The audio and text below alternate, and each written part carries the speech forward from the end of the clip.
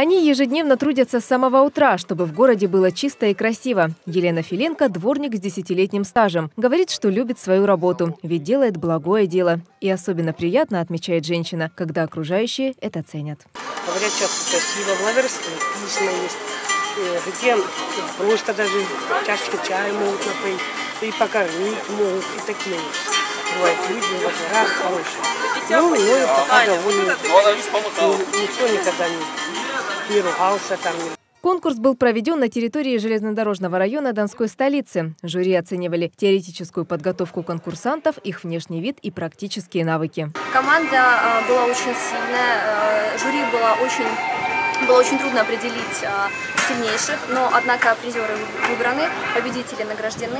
Победителем в номинации «Лучший дворник» стал работник Первомайского района Иншакулов Садулла. Второе место заняла Лидия Демченко из железнодорожного района. Третий – Сергей Герасимов из Ворошиловского. Алена Бадр, Алина Высоцкая, Дон 24, Ростов-на-Дону.